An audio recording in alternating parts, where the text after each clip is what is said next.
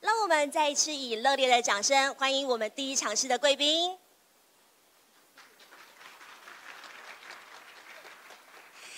现在开始进行论坛商务场第一个场试，场试一主题是绿色金融政策及方式。我们现在将时间交给主持人赖前院长，有请。谢谢各位贵宾啊，蔡董事长还在这边，周主任啊，真的不容易。那因为等一下陈副主委的 presentation，他的演讲呢会用 PowerPoint，所以是不是我们？等一下，还是回到下面来做这样啊。那我先简单介绍一下，我们陈副主委，各位都很知道啊，在这个财经法的领域呢，是一位非常知名的学者啊。那他本身是德国的法学博士啊。那是，那是不是？我们就先介绍这样，等一下看看第二位要来做这个语谈的时候，我再来进行第二位的介绍，好，好不好？那我们现在是不是热烈掌声来欢迎陈副主委啊？是呃，主持人赖前院长，那董事长以及主任，那个今天呢是我新上任以来啊第一场的一个发表，那我也。赖老师呢，其实不单单是我学业上，也是我人生上的一个导师，真的，真的从小的时候，真的就是赖老师一直以来的一个教导以及那个提拔。那所以呢，今天呢，有任何的任何的一些些的小小的成就呢，或者是任何一些些呢能为国家做到的地方呢，我真的都要谢谢赖老师。那好。回到呢，我们今天的一个主题，所谓永续金融相关政策及推动。其实呃，今天呢，我大概会就三个部分：永续金融的政策推动，以及 IFRS 永续揭露准则，以及最后的一个结语。其实我们看到现在的一个世界的一个情势，在后 COVID-19 以及中美贸易的冲突之下，其实我们发现，在一个世界已经是两个供应链，哪两个供应链呢？其实一个所谓的褐色、灰色的，一个是绿色供应链，而另外一个呢是所谓的民主供应链以及红色的一个供应链。所以是说呢，其实台湾、台湾跟这个新加坡、香港不一样，台湾是有产业，而新加坡、香港其实它是努力的，它因为产业少，所以是发展的是一个金融。所以以台湾而言的话，我们的一个金融的一个重点在于怎么样呢？我们要把我们的金融、我们这个资金中介的功能导向我们的一个产业，而导向产业，让产业的所我们所谓的永续绿色，在这个地方呢，其实由 CSR 到 ESG，有一个所谓的选修到必修。在这个地方来看呢，其实以社会或者是国际的一个发展而言的话，从二零零九到二零一九，我们欧盟整体的一个发展，其实永续财务发展由一个自愿到一个强制。其实呢，在强制的部分，其实也不是说哎你一定要如何，而是在一个所谓揭露的强制。所以呢，在一个法治的一个我们所谓的 adoption，所以我们的所谓的 IFRS 一个准则的引进，也就是什么所谓的。车同轨，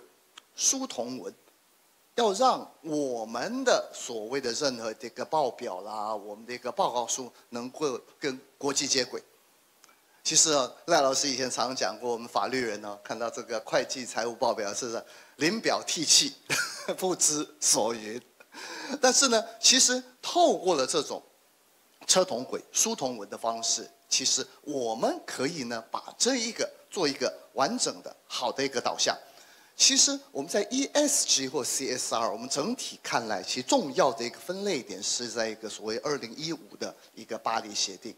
也就重心呢已经引向了所谓的一个气候财务。所以呢，在整体而言，整体而言呢，我们就可以看到，我们就可以看到呢，我们金融在这个地方，在国外的一个发展。那国内呢，国内呢，其实在金管会，我们呢透过一个所谓绿色金融行动方案。其实，在我们叫出了二零五零净零转型，哈，净零排放，包括了能源、产业、生活跟社会的一个转型。而赖总统呢，在讲所谓的前瞻未来、智慧永续。面对着所有的一个气候变迁，或者是时代的一个改变呢，其实金管会也负着一个非常艰巨而重要的一个任务。我们透过了绿色金融行动方案，以及呢所谓的上市柜永续发展路径图呢，在接轨我们的 IFRS 永续准则。我们呢希望呢，我们金融机构跟上市柜公司呢，透过了一个我们的。当时一开始的鼓励所谓的能源转型、绿能投资，以及呢绿色商品、绿色企业的一个发展呢，彼此之间来做一个议和。也就是说呢，这是一个很重要的一个公司协力，而透过这些上市贵公司，对于它一个整体我们的供应链金融，我们在看到的不单单只是一个单一的企业，而是整体的一个上下游。而在欧盟。欧洲的国家其实也有所谓的供应链法，在这个整体而言的环境、社会、人权、劳动的部分，刚好也跟呢今天所有议程里面呢完整完美的一个结合。再来，我们看一下，我们看一下，其实目前为止，我们呢是内外同时的进行。内呢，其实大概就是 corporate governance。到 corporate governance 从二零一三、二零一三一直到 二零一八、二零的公司治理蓝图三点零，好永续发展，一直到其四点零比较难听了，所以是所谓上市贵公司永续发展的一个路径，是内部的路径。而在金管会的一个部分，我们透过资金的导引，我们透过了一个所谓的我们希望有好的绿色金融的产业。它能得到更好的一个资金的发展呢？我们的绿色金融行动方案一点零、二点零、三点零，而到最后呢，其实也都是要达到一个所谓的永续的一个金融生态系、金融生态系。所以呢，我们看一下所谓的绿色金融的一个部分，在一点零的部分，我们着重金融业怎样对于绿能产业、绿能产业的一个投资融资。也包括了我们 offshore 离岸风电、光电、好余电、蓄电。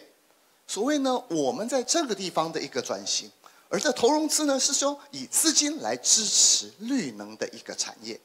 而在二点零的部分呢，其实我们含刮了，其实在 ESG 的一个治理面向，也就是说呢，它是整个的一个绿色永续发展产业。而在三点零的部分呢，我们更是强调了一个所谓的公司协力，公司协力，因为呢，只有靠政策的推动，没有产业的配合是不可能。而呢，在这个地方呢，也是我们也是希望呢，做出了一个产业对一个这个责任的一个荣誉感。我们常常讲，银行在这个地方，在现在的 FinTech，我们讲银行不在，金融常在。而呢，在这个金融常在的部分呢，其实金融业我们可以慢慢的一个看到，我们将来有一天被科技业取代嘛。而呢，在这个地方，其实透过了一个绿色金融地方呢，我们的中介的一个枢纽的地位又回来了。所以呢，其实一开始的时候不可讳言的，金融业在做这个所谓的绿色金融，其实呃不可讳，的确不能说完全排拒，但是的确又有一些的一点的疑虑。难道我们对于有某一些能赚钱，我们就都不做了吗？但是在这一个我们回到那个道德的制高点，或者是一个所谓的绿能的，或者绿色产业的导引功能的话，其实金融业它在这个地方投融中介功能又回来了，而且越做越有怎样成就感。是从一开始有一点所谓的排斥，或者没有到排斥，但是到现在大家都是努力的往前。所以呢，在这个部分的话，我们来看一下上市柜永续发展的路径的一个部分。在这个地方，我们一开始的一个所谓的温室气体的一个盘查，温室气体的一个盘查。而温室气体的盘查，在这个部分呢，我们现在在二零二七年，二零二七年它要做到，而且必须要跟我们的财务报表一致。而在二零二九的时候呢，是一个查证。其实一到查证啊、盘查，我们后面的不管是永续报告是或我们的财报。我们呢也进入了一个法律的深水区，就说，如果这些报告报道有误的时候，是不是有财报不实？有没有所谓的虚伪隐匿？而后面的一个证，甚至证券交易法里面的证券诈欺、财报不实，或者是二十条之一的所谓的财报不实的民事的一个赔偿责任，在这个地方呢，其实也是慢慢的让不管是一个政策、金融，而进到这个法律规范的一个深水区。而在第二阶，那在我们后一个阶段的时候，也会就这个地方来做语谈。所以来看呢，我们那个行动方案呢，是一个五大面向、四大主轴：治理、创新、透明、数位。在这个地方呢，也是我们国家向前的一个怎样重要目标。我们引领企业进领，强化治理文化。而治理文化呢，其实一 S G，各位你们发现 G 从二零一三到现在，我们的公司治理排名蒸蒸日上，蒸蒸日上，已经到了前几名了。但是呢，我们在一的部分。也做的不错哦。从二零一五以后，二零一五以后，巴黎协定，而且我们在绿色金融，我们发现其实，在 S 的部分，可能在这个地方，我们的社会劳动人权这个地方呢，反而呢，我们在一个这个地方也是可以怎样更为着重。所以呢，在一个所谓的企业治理文化的部分，以及永续的一个部分，不单单只有环境，其实人才是最重要的。我们在一个往前进的部分，我们绝对不落下任何一个人，这也是普惠金融，这也是绿色金融，我们必须要注意的一个部分。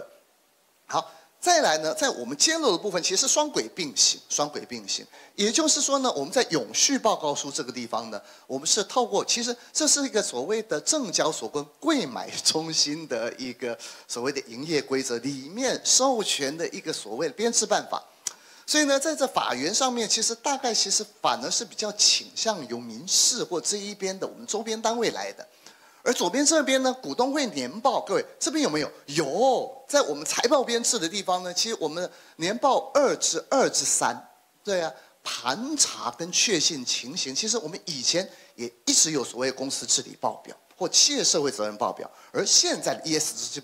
ESG 报表呢，又遵循了。我们软法里面所谓的遵循或解释，应该一个比，这个一个比较表，你没做到的，你要揭露、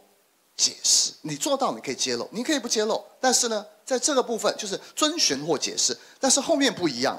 后面在 efforts，我们在一个现在，也就是说我们要全面 adopt、全面的接受了之后呢，其实永续资讯的一个专章在这个地方进去，所有所有的一个揭露，已经是将来将来。已经是所谓我们的一个所谓的财务资讯跟报表，就是说呢，完全跟一个所谓的证券交易法开始正式接轨。所以里面的虚伪隐匿或这一些，或者是不实的部分，在董事以及发行人以及相关职员的责任，我们更要特别的一个注意。那为什么我们要 adopt 所谓的 IFRS 准则？当然呢，我们要达到一个怎样？我们刚刚讲的车同轨，书同文。而不要呢？希望你现在，我们常常讲说，你今天的绿不是绿，对不对？那在这个地方，我们叫可可靠、可比较性、可验证，对不对？